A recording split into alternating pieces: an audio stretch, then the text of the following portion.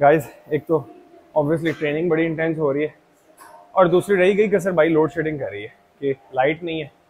तो इस ऑब्वियसली बहुत ज़्यादा काम ख़राब हो रहा है। वालेकुम कैसे हैं आप सब? आपका वेलकम करता हूँ अपने YouTube channel Desi fitness diaries में। तो आज हम करने वाले हैं चेस्ट की एक्सरसाइज जो कि बहुत ही ज़्यादा इंटेंस होने वाली है। अगर आप बिगिनर हैं इंटरमीडिएट लेवल के हैं या एडवांस है तो ये वीडियो आपके लिए होने वाली है। तो वीडियो एंड तक ज़रूर देखिएगा, क्योंकि वीडियो बहुत ज़्यादा इन्फॉर्मेटिव होगी तो आए स्टार्ट करते हैं हमारी वीडियो को।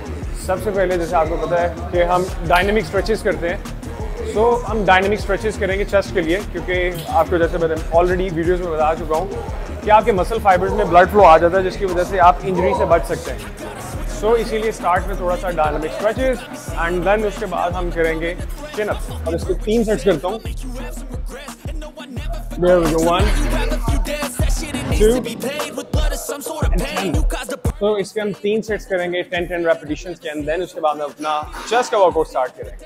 अब हमारा ये फ़र्स्ट सुपर सेट है, जिसमें हम करने वाले इंक्लाइन डबल प्रेसेस और इसके साथ हम करेंगे पुशअप्स रेपिटेशन रेंज एटीन पेड़ एंड उसके बाद 15 and then 12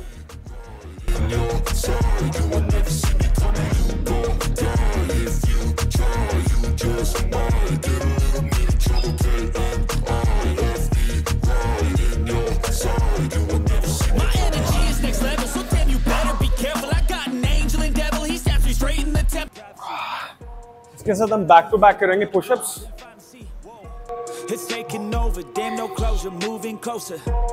No exposure, I just wanna be a loner. Uh, some can't stay sober, looking over all their shoulders. Like moving boulders just to get oh. तो जैसे अभी आपने देखा हमने एक सुपर सेट किया अच्छा पुशअप्स भी मैंने बड़ी कंट्रोल्ड किए हैं और लिटरली चेस्ट की हालत ख़राब होना स्टार्ट हो गया अभी से क्योंकि ऑब्वियसली कंट्रोल फॉर्म थी तो मसल्स बहुत ज़्यादा स्टिमुलेट हो रहे हैं। सो गाइस अब हम अपना सेकंड सुपर सेट करने वाले हैं, जिसमें हम डी क्लाइन डबल प्रेसेस करेंगे एंड देन इसके बाद हम करेंगे इसके साथ पैरल डिप्स सो ऑब्वियसली हमारे पास डी क्लाइन बेंच नहीं है तो हमने जुगाड़ के लिए एब्डोमिनल बेंच इस्तेमाल किया है। सो देर वी गो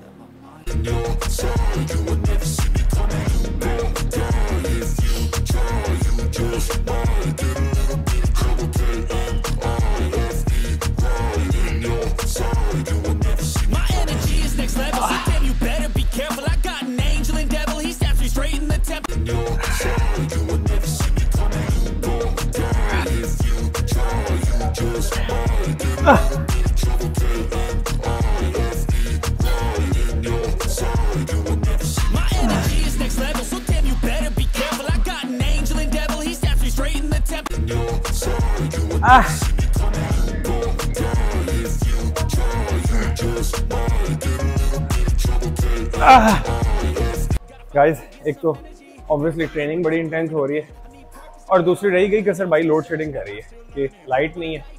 तो इस ऑब्वियसली बहुत ज़्यादा काम ख़राब हो रहा है। ऊपर से सावन का महीना, आपको पता है सो ह्यूमिडिटी सफोकेशन बहुत ज़्यादा होती है।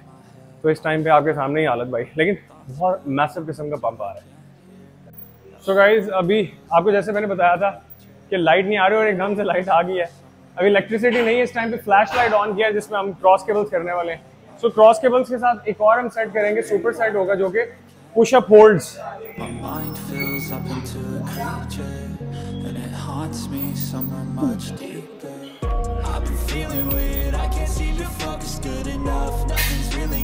Sometimes it could be a little tough I just need to feel like the end's in sight for me but... And 18 So इसी के साथ हम पुशअप होल्ड्स करने वाले हैं